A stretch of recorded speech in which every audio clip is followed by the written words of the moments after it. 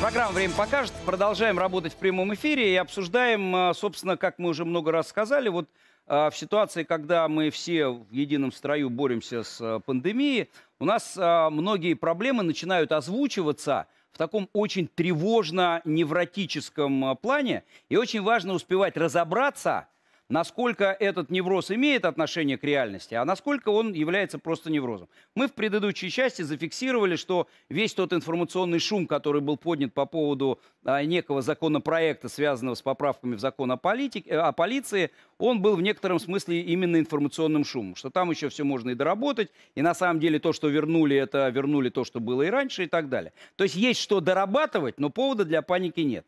Теперь другой набор заголовок, заголовков, которые все активнее появляются в средствах массовой информации, но уж про соцсети я вообще молчу. Там все, так сказать, просто уже бьются, так сказать, в конвульсиях по поводу того, вот, что будет в связи с тем, что э, в стране много э, мигрантов, и, и все от них ждут неких как бы проблем, э, все ждут от них роста преступности и так далее и тому подобное. И в этом тоже нужно разбираться.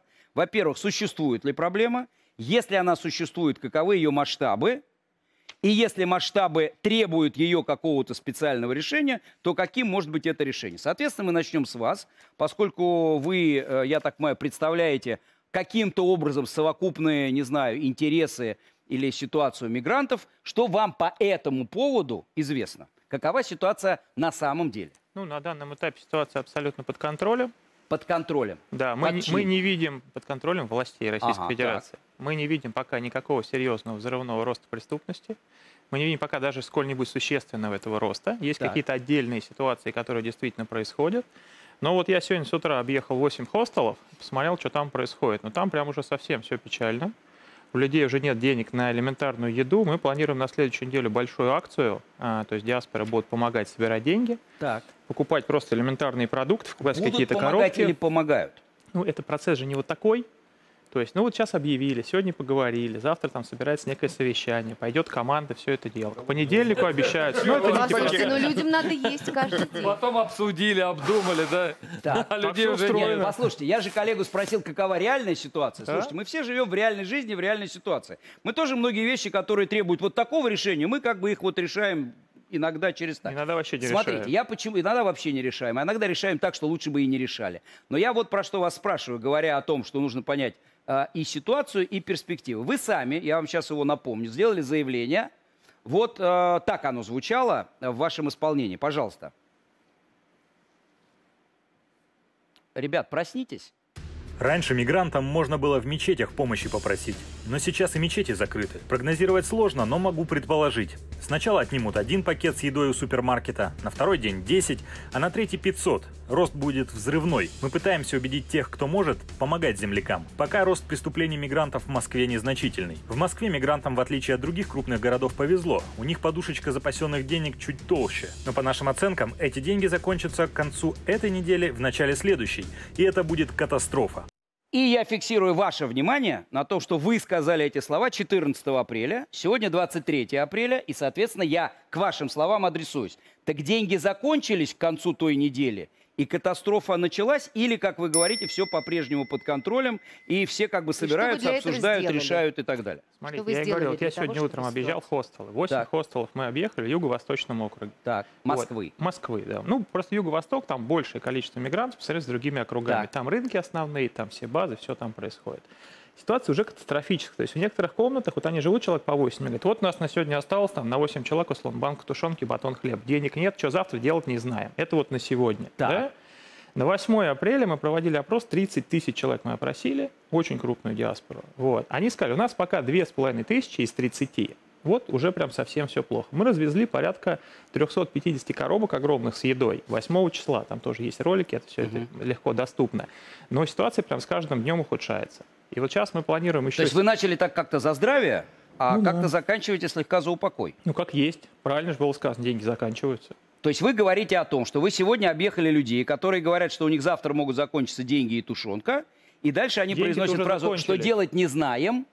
Кстати, интересно, у них какая свиная тушенка заканчивается? Ну, это не принципиально. Не принципиально, я понял. А, и что делать завтра, они не знают. Соответственно, в этот момент и начинаются все эти заголовки. Когда люди из того, что они не знают, что делать, делают вывод, что они будут как-то, так сказать, искать себе пропитание и деньги. И дальше возникает вопрос, что с этой ситуацией а, мы либо начнем сталкиваться, либо не начнем сталкиваться. Алексей Александрович, что вам известно по ситуации? И самое главное и важное для нас, если вы ее оцениваете как тревожную, как эти заголовки, то какие варианты решения? Ну, ситуация действительно непростая, это абсолютно точно. Я это вообще всегда э, считал, что Москва спокойно может обойтись без трудовых мигрантов. Ну, они свои, уже да. здесь, Алексей Они Александрович. уже Это здесь. разговоры, Раз уж они, уже здесь. И по официальным Кто бы из данным, нас там около не двух миллионов, а на они самом деле их гораздо больше, это мы Так. тоже прекрасно понимаем. То есть, и э, если людям не давать работать и не давать денег, то, естественно, они как-то начнут выживать. А как они начнут выживать, по-моему, дураку понятно. А вот, кстати, я, наверное, дурак, и мне непонятно. да. Объясните мне. Ну, как, ну, они же не умрут у себя, там, скажут, ну все, у нас есть нечего, пошли умирать. Конечно, пойдут что-то воровать, отнимать. Ну, это Но это дело логично. ведь Подождите, скажите, пожалуйста, вопрос, Алексей да? Александрович, а мы исходим из того, что ведь у многих наших людей сейчас тоже как бы проблемы.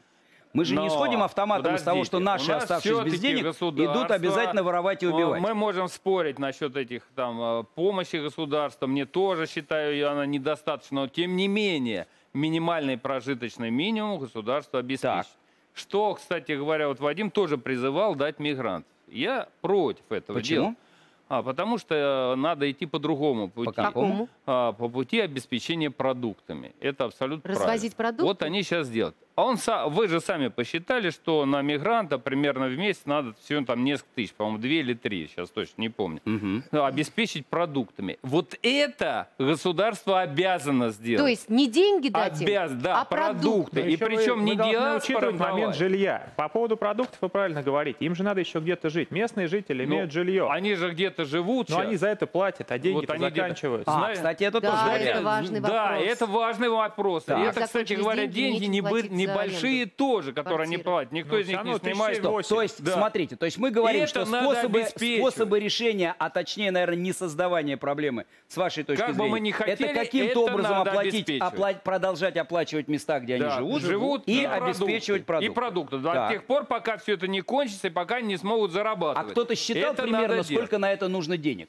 Должна быть у нас миграционная служба, которая все это должна Да посчитать. нет, причем понимаете? миграционные Игорь, службы, не Ты трогайте киваешь службы. головой на мой вопрос, считал ли кто-то. Ну, то есть мы говорим, что вот у нас их много, Алексей Александрович. Но мне речь говорит, идет о а у нас их много, а на самом деле всё. еще Ну, больше. то есть это Еще не больше. миллиард, Дальше, да. стоп, дальше мы говорим, ты говоришь, их гораздо больше. Дальше мы говорим, но нужно им оплатить жилье и, э, значит, э, об- об- а- обеспечить их продуктами. Дальше возникает вопрос, сколько это людей и сколько на это нужно денег? Если через это решение или через какое-то другое? А, У меня другое предложение, что на данный период, первое, необходимо с точки зрения государственных структур а, провести амнистию для тех людей, которые находятся в серой и черной зоне. Их Это как? очень много. Это уже Что значит произошло. В субботу был подождите, подождите. указ, Почему? Потому вывели. что, Что мы, значит мы должны им сказать, что если вы выйдете из тени, выйдете из тени, мы, ну там, не будем вас депортировать, да, мы должны вас сегодня оценить, сколько вас человек, То есть мы сколько- вас дож- должны Увидеть, посчитать, да, грубо посчитать. говоря. Коллега вам говорит, что это уже сделано. Не сделано это, не, 274 не сделано. Я общался, я общался с руководителем,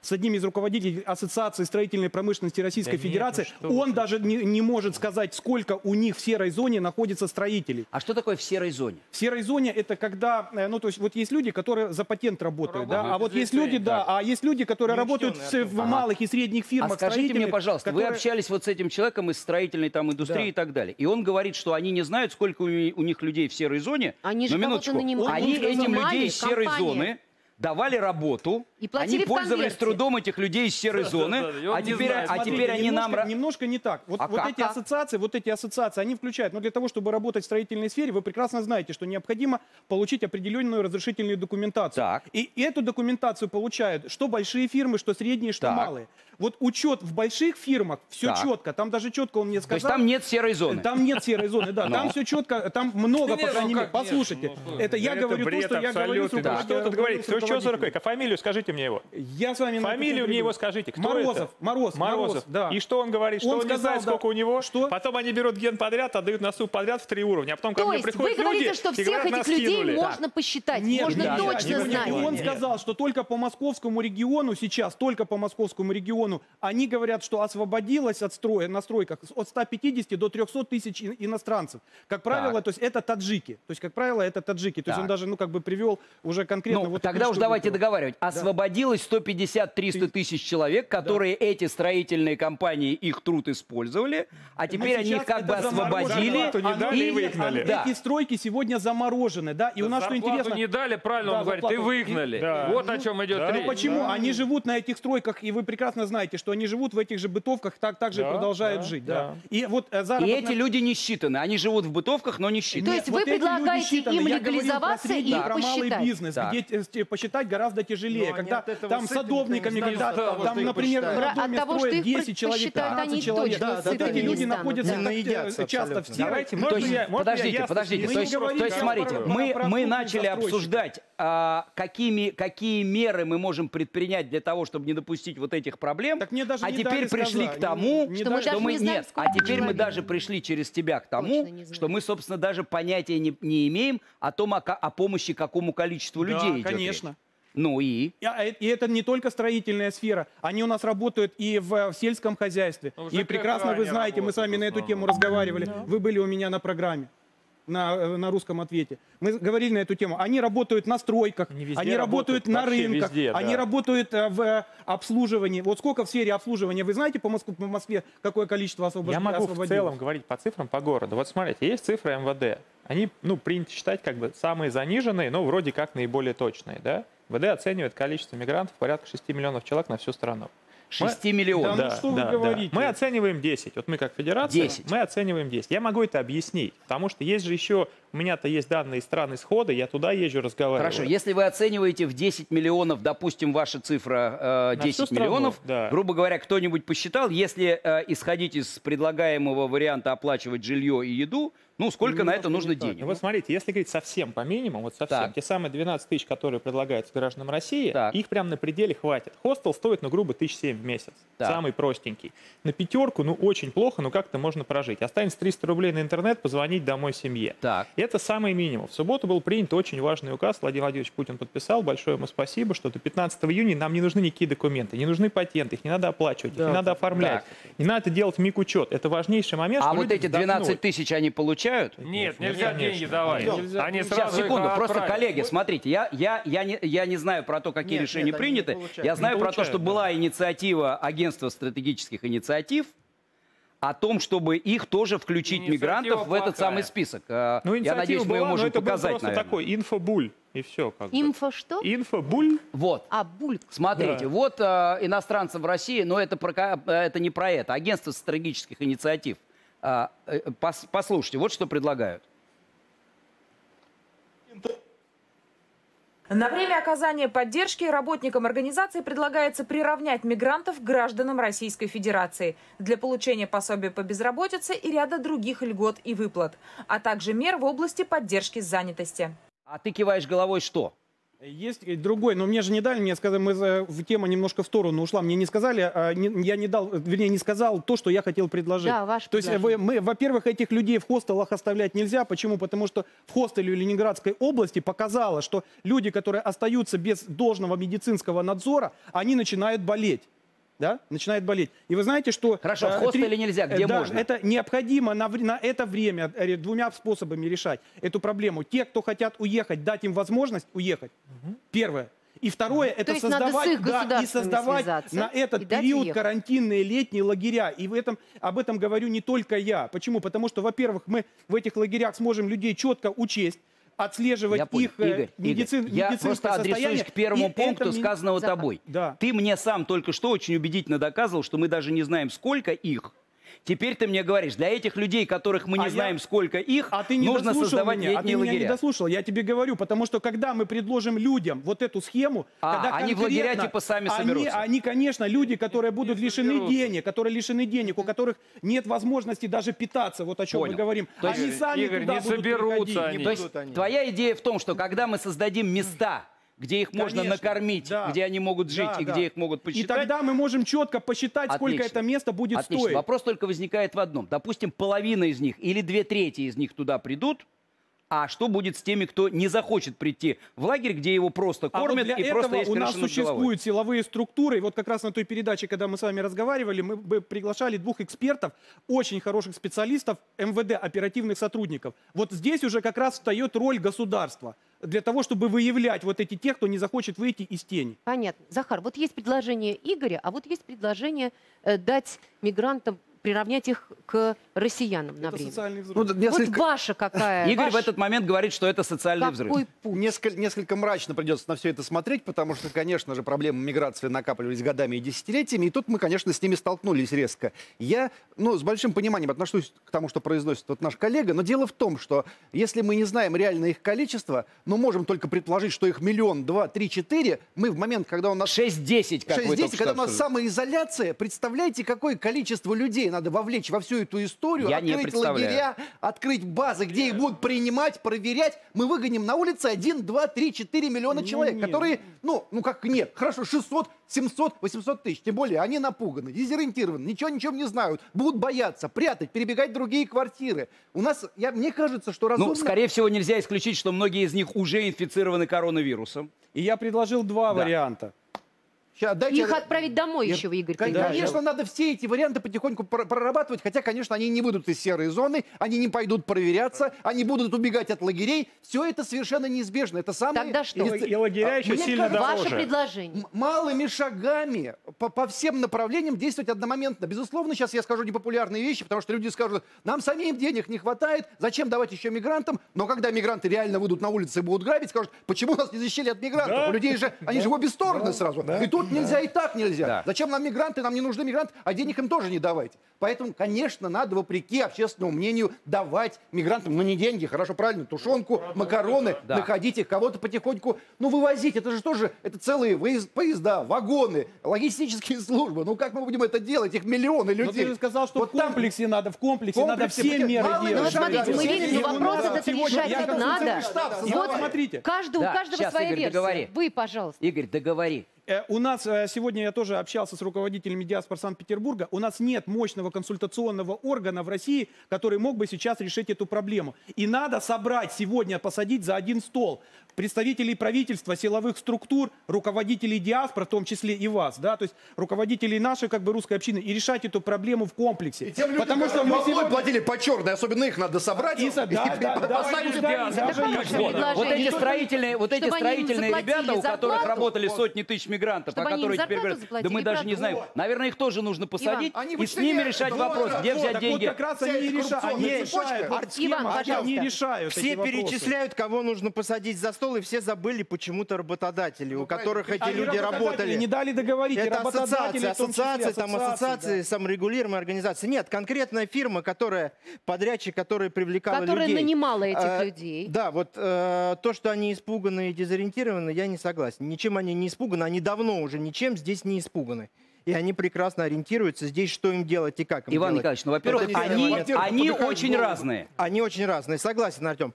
А, ну, вот насчет этих 12 тысяч, да, приравнять, Так. давать пособие. А, точно так же, ведь как они живут, какой у них? Заработали, отправили, Отправили. на родину. да. Да. 12 тысяч получит, отправят на родину. Есть И дальше, и дальше Да. здесь, Да. и дальше здесь они будут пытаться деньги э, отправляют так же за голодать и так То есть далее. Вы Иван считаете, Николаевич, что деньги смотрите, давать давайте тогда нельзя, вот надо как Захар продукты? сказал совершенно справедливо, малыми шагами. Согласились с вашим аргументом, что учитывая особенности их, э, так сказать, функционирования, скорее всего, те деньги, которые будут перечислены э, в этой связи им, тут же уедут на поддержку их семей в соответствующие Мало- страны маловероятно. и так далее. Это реальность. Она может Это нравиться, не нравится. да. Соответственно, остается еще вариант какой? Вариант, э, ну, ку- как-то их отсюда вывозить, хотя они представляют себе 6-10 миллионов. как Если, можно вообще вывести? Артем, страны если те не страны готовы их будут принимать. готовы их Если принимать. те страны будут Нет. готовы их принимать. То есть это э, дипломатическая А работа, я, а я могу тебе сказать, а я могу тебе сказать по не секрету, можем что я сильно сомневаюсь, что те страны, из которых они прибыли, будут готовы их принимать,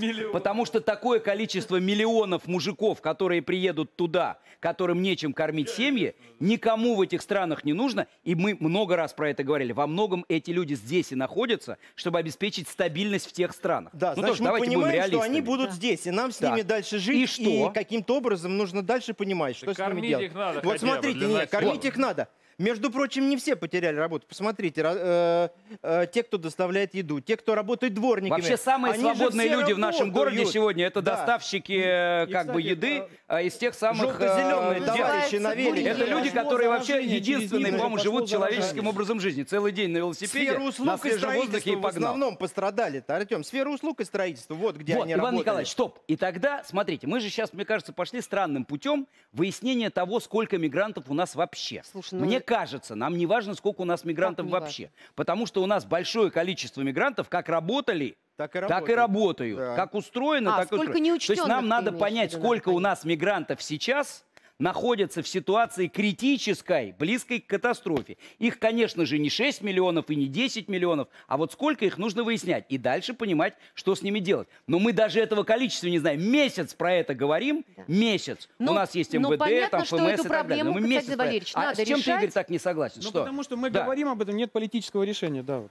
Я хотел бы э, напомнить, что у нас не только э, коронавирус на дворе, но и экономический кризис, в котором Так. мы находимся в самом начале. Так. И в этой связи надо обратить внимание всех нас, коллег и тех, кто занимается этим э, по долгу службы, что у нас мигранты в стране, вот эти все, то ли 2 миллиона, то ли 10, Нет, то ли 6, то ли 10. ну да, а почему? Вот два было сейчас на экране. Два в Москве. А, так вот, э, они-то все кто?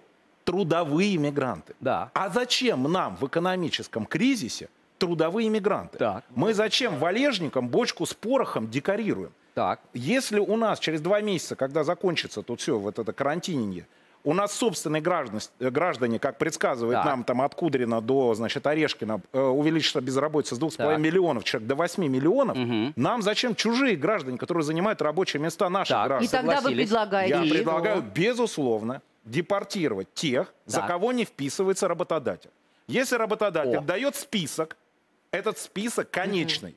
В нем паспорта, адреса, значит, а, работодатель отвечает. У него За есть денежная людей. подушка, он их кормит, и он знает, что через два месяца он продолжит стройку. Если это 50%, я уверен, строек накроется через два месяца, Так. это означает, что все эти люди окажутся на улице, потому что вот эти все маленькие фермежки, малый бизнес, они ни за что отвечать не будут. Так. Соответственно, этих людей надо уже сейчас с ними встречаться. Вот у нас полиция сейчас автомобилистов, Так. а, а, Ага. этих э, законопослушных Так. останавливает. Так. Пусть останавливает мигрантов И? на улице. И лучше нам потратиться на то, чтобы посадить их в автобусе или в э, поезда и отправить, они, слава богу, не из Бразилии, а из Узбекистана и Таджикистана, и отправить их на родину.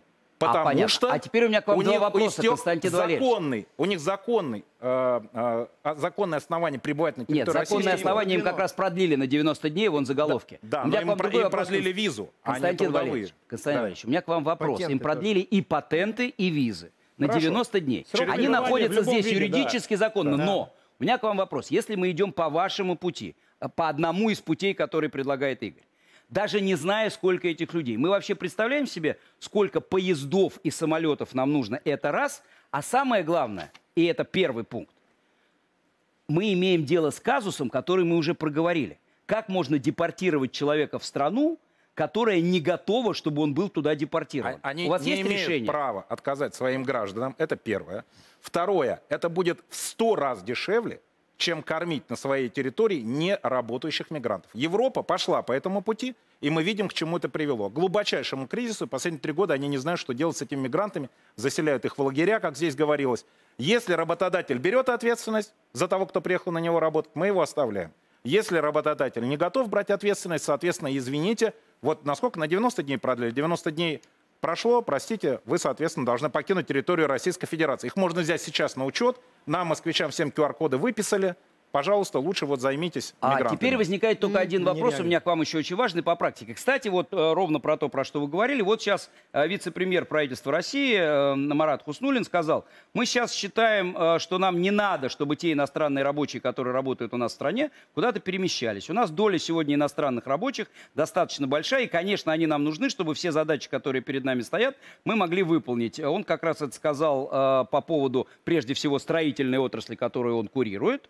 А А это значит, что ваша версия о том, что строительная отрасль, которая они им нужны, она их может переписать и, видимо, должна предоставить какие-то гарантии того, что она им нужна сейчас, и они будут Вот дальше... кого, даже вот кого- вот кого перепишут и за кого возьмет ответственность то ли работодатель, то ли Хуснулин, Да. имеется в виду правительство, те, безусловно, пусть работают прекрасно. Но Но если никто за них не берет ответственность, тогда И за них вот ответственность тут в рамках обсуждения нами с коллегой э, того, с чего мы начали, ведь граждан Российской Федерации, ну, кроме тех, э, кто будет наверняка задавать вопросы, то, про что Захар говорил, почему их там кормят, почему их содержат, ну, такие будут всегда. Ну, слушайте, как бы вот жизнь такая. Но ведь будут еще те мигранты, которые не работают на стройках, и которые не захотят депортироваться. И их будет не 10, не 100 и не 1000 в случае, когда они узнают про депортацию. И, собственно говоря, они, они и могут составить тот, грубо говоря, пороховой заряд, который и может рвануть, как боятся эти газеты. То есть, грубо говоря, начав жесткие депортации, на мой взгляд, мы можем как раз часть из мигрантов подтолкнуть, даже ну, если нельзя. угодно, уйти, ну, не в подполье, а я даже не хочу произносить, куда уйти.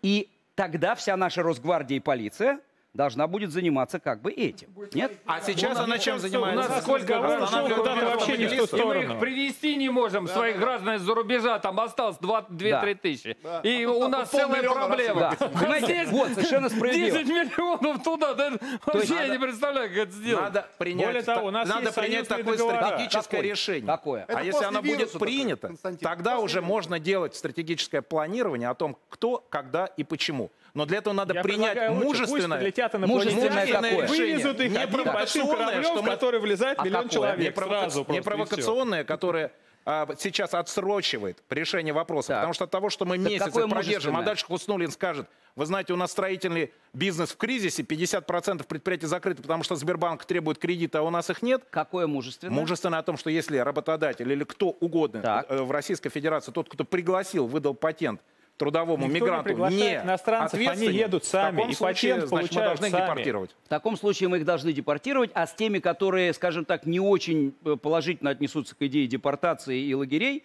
э, мы э, что будем с ними Для этого у делать? нас есть полиция и Росгвардия. Сейчас она занята мирными жителями Московской Да. области и Слушайте, Москвы. как много Мне кажется, у них есть возможность занять. и я, я сейчас только знаете? анализирую как бы предложение. Представьте себе, что если от этих условно 10 миллионов 5%, 5% не захотят депортироваться, это 500 тысяч человек. По всей стране. По всей стране. Теперь скажите мне, пожалуйста, 500 тысяч человек по всей стране, которым, внимание, я говорю страшные вещи, в принципе, уже нечего терять. И они понимают, что впереди у них высылка на родину, где, скорее всего, все еще хуже, чем здесь. Как вы думаете, 500 тысяч человек этого достаточно для того, чтобы устроить проблему? Для того, чтобы этого не было, нужно действовать прозрачно. И нужно, соответственно, эти меры публиковать. И надо говорить, готовить. Так же, как нас, москвичей, готовили. Сначала посидите недельку в карантине, потом будет код, потом 100 метров, потом, соответственно, еще какие-то меры. Точно так же надо готовить мигрантов. Вот, Да пожалуйста, у них не ассоциация понимают, у них есть. телевизора нет, они Через- по-русски не умеют Не-не-не. разговаривать. Через Слушаться они не будут. можно Даже делать- в мирные дни не могли это сделать. Здесь Когда не было вируса, прозрачные государство меры не могло не с этим справиться. да. Что сейчас произойдет? Мы их посчитать не могли в мирное время, посчитать. Оживет и начнет работать. Именно для этого не и нужно способно государство. с этим справиться. Это все замечательно звучит, но это не работает категорически. Работает система малых мер. Вот сейчас Мало- будем так вот затыкать о чем эти говорим, дыры. правильно, так о чем поймал, мы говорим? Этого спрятал, этого посадил, тому дал Это тушенки. система малых мер. кормить надо. Эта кормить. система малых мер в Месяц- Германии привела к Кёльнской ночи, когда 600 женщин были изнасилованы. Мы все Не, помним вот это эту не надо историю. этим Ну, там платят Если изнасилуют пособие. больше, больше. Вот Не, не, их, сказал, что подождите, скоро все будет хорошо. Э, Я поддерживаю в какой-то степени, что надо создавать вот разные, разные меры. Вот разные меры. Кого-то депортировать, кого-то... Но при этом, если мы даем ковришки в виде того, что мы э, э, даем жилье, то, что мы э, даем им провизию, питание, да, мы должны ужесточать уголовные меры ответственности, чтобы они понимали, что если они выйдут на улицу, а Сатановский Ага. об этом говорит, Ага. что вообще э, из, из Средней Азии, где было достаточно большое э, количество мусульманских различных э, экстремистских движений, Так. и я больше чем уверен, что в эти 500 тысяч эти люди Игорь, попадут. ужесточать Уже уголовные меры меры, и- меры и силовыми методами, оперативным путем, Так. с привлечением оперативных сотрудников из тех государств, Игорь, которые они, так. которые а- И? они приехали, И? которые понимают И? ментальность. И максима- максимально наказывать этих людей. Игорь, Игорь, применение мер останутся. уголовного законодательства с применением оперативных сотрудников, ты так все это витиевато и длинно говоришь. почему? Поэтому, а, объясняю тебе, потому что если ты про это говоришь, то ты имеешь, вероятно, в конце как на выходе, что те из них, кто не захочет за ковришки э, т-т-т-т, ты их куда-то должен всех интернировать. Выбирай очень дипломатичное слово. Интернировать ты их куда-то хочешь. Правильно? Они должны понимать, что Еще, если нет, они... что они не должны, я не знаю. Вот Захар правильно да. сказал. Многие из них ничего и не понимают и не должны. Мы их сюда привезли, а дальше они должны... Их никто не Теперь ты вез, мне они даже скажи, на выходе приехали. твоей схемы с, вот, с оперативниками, с уголовным законодательством, это некие уже не летние лагеря, а просто лагеря? Нет, почему? Те люди, которые будут нарушать уголовный Так. кодекс И Российской с Федерации, с ни- их должны садить. Куда? Куда? В тюрьмы. В тюрьму. Да. Вот эти Или- вот, или вот эти вот, вот, И- вот- вот эти вот 500 тысяч человек, это 10% А что с от ними общего делать количества. тогда? Делать так, чтобы они оставались Игорь, на Игорь, улицах, а оставались тюрем на улицах. хватит? А? А тюрем хватит? Э, э, Если брать тюрьмы из тех стран, из которых они приехали, хватит. Артем, Вот Игорь закончил два- вопросом, а что с ними делать? Я думаю, что это нужно прорабатывать этот закрыты. вопрос. Необходимо за стол Что, что? людей. А вот это неплохой вариант. Закрывать границы. Закрывать. У нас же сейчас граница закрыта. Евро- Нет, у нас сейчас граница закрыта, но вы предлагаете через эту закрытую границу кого-то куда-то вывозить. У нас закрыта граница на въезд. Не, речь идет о чем? Так О и том- у них закрыта том, граница что на если въезд. б- Вот если в Узбекистане и Артем, Таджикистане закрыта граница на въезд. А Вы им теперь говорите, ребят, они нет, не как раз то, что у них закрыта э, на въезд граница, а 10 миллионов граждан этих стран у нас, это, к сожалению, нашему великому, это наша проблема, которую нам каким-то образом Да, здесь но надо проблему решать. надо решать, а не лакировать. Артем, про Да, два коротко. слова. Про уголовное скажу э, действительно коротко. Поскольку вы правы, около 70% насильственных преступлений в Москве совершается мигрантами, это знают. Категорически не так. Да. Категорически Поэтому- не так. Это а, просто поэтому чушь. Нет, оперативники я член общественной Поэтому я могу Москвы. Откуда вы берете эти цифры? ну Оперативные позиции э, в среде мигрантов у нашей полиции достаточно хорошие и, и у других спецслужб. Это первый момент. Второе. Э, Столица и область оборудована э, комплексом «Безопасный город». Поэтому те товарищи, которые захотят совершать преступления из числа мигрантов, пусть знают, что они попадут на камеры, они будут выявлены и привлечены Не-не-не, к стоп. уголовной те, кто, ответственности. те, кто совершает преступления, речи наши нет, что их не нужно, смотрят. конечно, брать и сажать. Это я Речи про это нет. А те, кто совершает преступления. Мы же сейчас да, обсуждаем, что делать с теми не людьми, которые еще не совершили никаких преступлений, но которые могут начать их совершать, если у них закончатся средства. Конечно, что с ними кормить делать? и небольшие пособия, которые не будут превышать сумму за перевод Понятно. этой суммы за рубеж, чтобы можно было купить поесть, но не отправить эту Я бы, сумму я за бы, кстати, вот, вот несколько раз мы сказали, может быть, как раз э, как-то денежные переводы за рубеж э, в эти страны, и тогда, может быть, денежная помощь им, она останется здесь на их В пропитание. любом Ну, случае, как надо бы как вариант. за стол переговоров. За сейчас стол переговоров. да. А, Мне кажется, Это для сейчас начала уже. их нужно посчитать, а потом понять. первую Да, Давайте не- коротко. несколько Не цифр, смотрите. Несколько цифр, Вот- вот очень говорим. коротко. Первое. Мигранты ежегодно 60 миллиардов платят бюджету субъектов э, НДФЛ. 60 миллиардов. Чего? Ежегодно мигранты. Мигранты. патент- да, платят бюджету субъектов Российской Федерации. Вот Собянин, например, имеет 17 миллиардов каждый год с мигрантов, Так. патентных отчислений. Вся Так, страна Москва, имеет то есть. 60 миллиардов. Вся страна. Так. Каждый год. Так, С этих и? 60 миллиардов, если мы 10 раздадим, Ага. точно все будут сыты. И это столько, сколько они уже нам принесли за два месяца, за январь-февраль. Давайте хотя бы это вернем. 10 Первый момент. миллиардов это тысяча на 10 миллионов. А Вот. сколько они отправляют? Ну, там а сколько не- они не отправляют? Понятно. Понимая- Сколько они А, отправляют? коллеги, Ну, что они сейчас все, все. Значит, Вопрос сейчас, сейчас подводим рекламу. Вот из всего, что мы здесь Что обсуждали, самый главный вот эффект, который я хочу, так сказать, для меня очевидный, что очень многие из этих людей оказались здесь, потому что сделали на них заявки их работодатели. Нет, нет, нет, Поэтому никто не делает их заявок. Да ну как не делать? Да как они здесь оказываются? Ну какие заявки? Реклама на Кто Первом канале. делает?